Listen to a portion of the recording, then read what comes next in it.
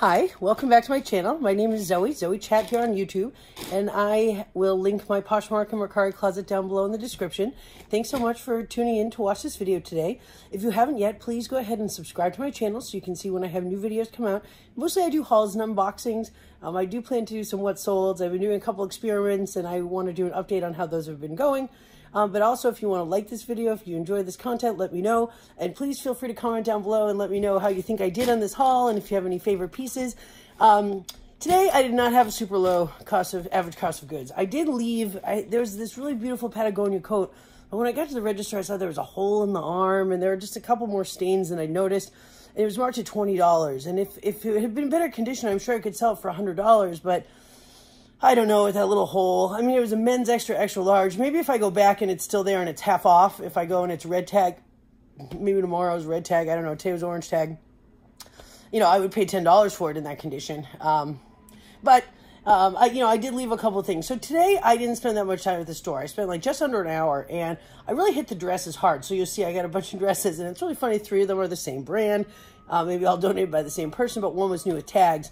And at this time of year going into Q4 knowing people are buying gifts, I love to find anything new with tags. But first, there were two pairs of Hokas actually, and these are Hoka One Ones. Now these, um, see, it's a, uh, you can't see. These are the One One, one one.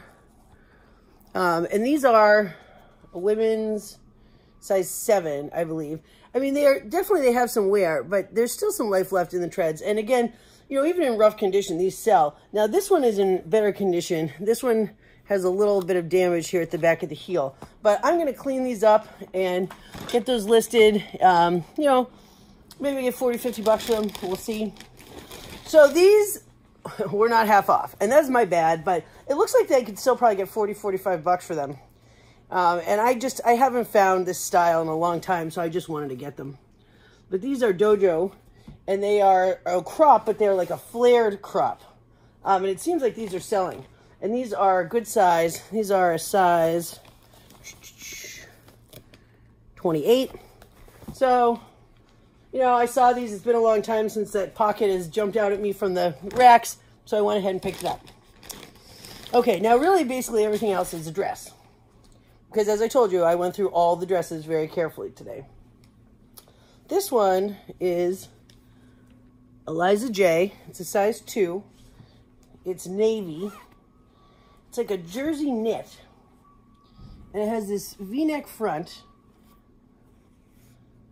And then it has these cool pockets with these beautiful gold button details in the front. So it's just like a sheath dress. But I think the neck gives it some sort of pizzazz. And I don't know, it was half off. And like I said, I spent a lot of time in dresses today. Of course, I didn't find like season appropriate dresses, but I bought them anyway. This was a really great deal because this is a kid's dress and it was half off. So this was like $1.99. This is mini Boden, but how great is that? It's just blue and white stripe. And it has this button detail on the shoulder. And then it has these pockets with the yellow accent with the button details in the front. And I just thought that was adorable. It's a size 11 to 12 years. I just think that's great. Go ahead and get that listed. Okay. This, I just thought was pretty. This, it's going to be a little hard to show. You can see it's got a belt tie that's already cinched around it. And it's got like a little bit of a tiered on the skirt, this light coral. It looks like it's a linen, but knowing the brand, I'm not sure that that's the case. It does have pockets. Uh, oh, the material tag's probably on the inside. Yes. Yeah, it's rayon and spandex. It's fully lined. It has this great like little double button at the back of the neck. And this is the Torrid. It's a size 3, so it's a 3X. I just thought this was really pretty. And, you know, this is a color going into fall, you know, with like a brown suede coat, some cowboy boots. That would still be really cute. This is just an athletic dress, but this is this is Athleta, size small. Sorry about the lighting. It's just this cute sort of empire waist, lavender v-neck dress. But again, I do pretty well with these athletic dresses, and it's half off, so I want to take a chance. Only three more things. I told you it was a quick haul today. So this is so fun. I found two of the exact same. This is Horny Toad. So this is before it became Toad and Company. It's a size large.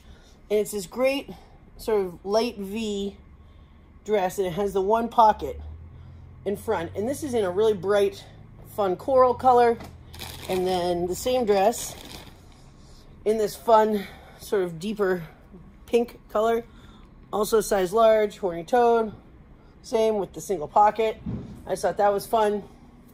Again, obviously an older piece because it's Horny Toad, not Toad & Co., but that is okay. And then last but not least, this is my newest tags item. I thought this was fun. This is also Horny Toad, but this is a medium. I don't know if someone donated all their Horny, horny Toad, but this is sort of like a, like a cowl neck. And it also has this cool pocket on the side here. You know, and again, new tags. Hideout dress red potato, women's size medium. So I just thought that was really fun. And this is a great fall dress. Throw this on with some tights and some boots and you're good to go. So that's all I got today. It was a quick little haul. I really, I hadn't been in for a while, as you can notice, because I haven't had a video in a while. Um, on all of those things, I spent $50. My average cost of goods is probably around $5, uh, unfortunately. But that's okay, because I'm sort of happy with what I got, and I'm looking forward to getting this stuff listed. And again, please don't forget to like and subscribe. And I love all the comments I get below. And I always write back. So please feel free to leave me a comment. And I will see you all again soon. Thanks so much for watching. Bye-bye.